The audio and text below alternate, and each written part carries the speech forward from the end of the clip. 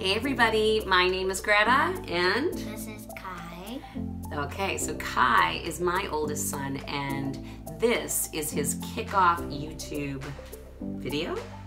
Yeah, he's got a lot of amazing talents and teaches me something new every single day. So I'm really excited for his YouTube channel.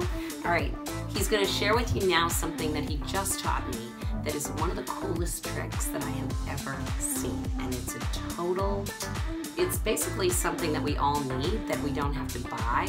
We don't have to search for because we have it right there. And it's, it's something you're gonna share, right? All right, let's see it. So, this is just an ordinary jacket with a little, with very fluffy. And if you see, if if it has a hood, you can. If you're, if you like want something to lay on, you can like stuff everything into the hood, and it'll become like a mini pillow.